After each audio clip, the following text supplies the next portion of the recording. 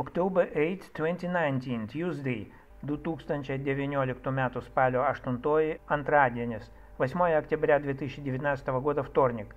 Operatives now see that I left our yard through the western exit instead of eastern, which I use going to the Vilnius Central Universal Store. Operatyvininkai dabar mato, jog išėjau per vakarinį išėjimą iš mūsų kiemo, užuot panaudojęs rytinį, kaip visuomet darau, eidamas į Vilniaus centrinę универсальную парduotuvę. Оперативники теперь видят, что я вышел через западный выход с нашего двора, а не через восточный, как обычно делаю, идя в Вильнюсский центральный универмаг. Only from this point do I turn east. Tik nuo šito taško vis tik pasuku į rytus, только с этой точки все-таки поворачиваю на восток. Immovable back of sitting woman is visible. Yra matoma неjudanti sėdinčios moters nugara. Видна неподвижная спина сидящей женщины.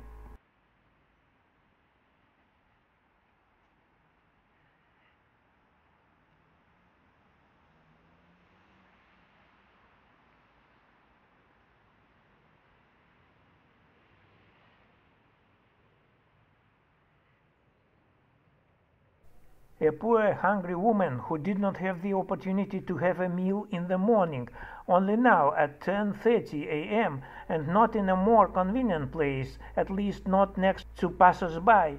Vargšė išalkusi moteris neturėjo galimybės užvalgyti iš pat ryto, tik dabar 10.30 ir netgi nekur patalpoj ar bent ant atokesnio suolo, bet būtent šalia praeivių. Бедная изголодавшаяся женщина, у нее не было возможности никакой с самого утра поесть, только тут в 10.30 и не в каком-либо помещении, и даже не на более отдаленной лавке, а именно тут рядом с прохожими. And here is another hungry eater who sat not far from here from my video clinic and bank, June of 2019, watch from minus 0446. O štai kitas išalkęs valgytojas – sėdėjęs visai netoli nuo čia, iš mano vaizdo įrašo Poliklinika ir bankas 2019 м. Биржалис, но минутės 04.46. А вот другой изголодавшийся едок, сидевший совсем недалеко отсюда, из моей видеозаписи «Поликлиника и банк», июнь 2019 года текущего, с минуты 04.46. I have an impression that this woman is fulfilling her first task as a fresh recruited agent that is to bring food from somewhere, sit down here, eat and not ask what it is for. Man labai panašu, jog šita moteris atlieka savo pirmą kaip naujosios agentės užduotį. Tai yra atsinešti iš kažkur šitą maistą, atsisėsti čia, valgyti ir неклаусти кам. У меня впечатление, что эта женщина исполняет в качестве нового рекрутированного агента свое первое задание, а именно принести откуда-то сюда пищу Сесть тут, есть и не спрашивать зачем.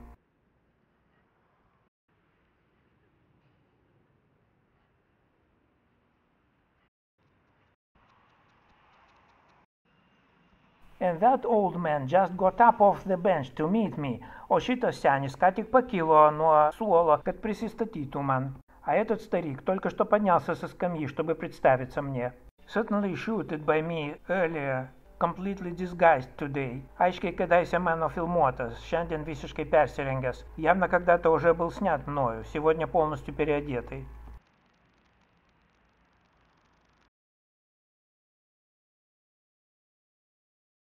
My destination – Vilnius Central Universal Store on the right.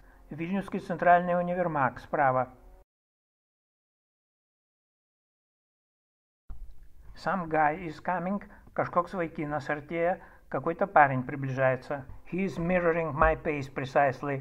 Veidrodinė atkartoja mano žingsnio greitį, зеркально отражает скорость моего шага. And besides the service smartphone, he has nothing more in his hands. Ir be tarnybinio смартфона daugiau rankose nieko neturi. И помимо служебного смартфона больше ничего в руках у него нет.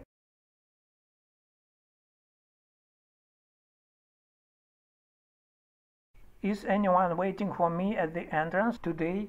Ar šiandien laukia manęs kas nors prie įėjimo? Ждет ли меня сегодня кто-нибудь у входа? We will see, поматисим, увидим.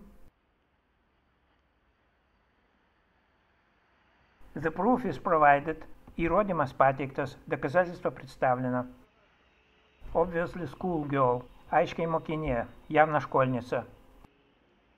No one interfered with me inside, perhaps because many agents are too busy in their official jobs in the morning. Niekas netrukdė man viduj. Gal dėl to, kad rytais daugelis agentų yra per daug užimti savo официальиуся дарбовиетесе. Никто не мешал мне внутри. Возможно, потому что много агентов слишком заняты на своих официальных работах по утрам. 15 minutes later, going out, по 15 minučių išeinu, спустя 15 минут выхожу. Exactly when I am approaching the entrance from the inside, tiksliai man artėjant prie išėjimo, точно когда я подхожу к выходу, a man enters from the outside carefully looking at his smartphone. Vyras įeina iš lauko, įdėmiai sekdamas savo смартфона. Мужчина входит снаружи, внимательно глядя в свой смартфон. And sends me a hand signal, glancing straight into my eyes. ir siunčia man signalą ranка, žvilgtelėjęs stačiai man į akis. И посылает мне сигнал рукой, пристально взглянув в глаза. Let's watch once again. Пожурим дар карта, посмотрим еще раз.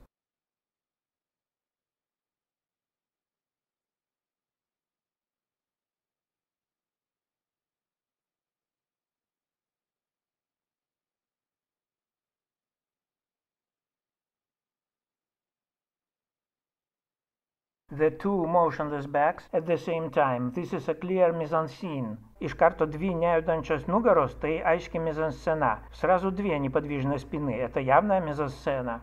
She turned a bit so that I could see better how does she imitate something. Ji truputį pasisuko, kad geriau matyčiau, ką jinai ten имитуoja. Она немного повернулась, чтобы я лучше видел, как она там что-то имитирует.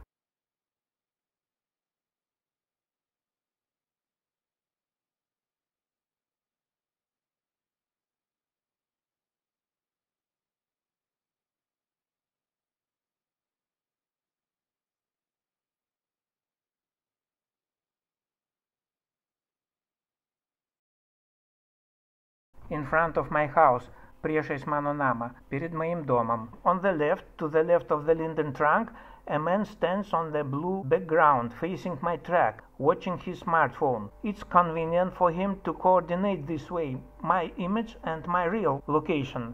Kairėje, kairiau Liepos kamieno yra matomas mėlyname fone vyras veidų į namą ir į mano kelią, įdėmiai žiūrintis į savo smartfoną. Jam tokiu būdu paranku derinti mano atvaizdą su mano realia padėtimi. Слева, левее ствола липы, виден мужчина на синем фоне, лицом к дому и к моему пути, внимательно смотрящий в свой смартфон. Так ему удобно координировать мое изображение с моим реальным положением. He immediately turned 180 degrees and left. Jis tuoj pat pasisuko 180 laipsnių ir išėjo. Он немедленно повернулся на 180 градусов и ушел.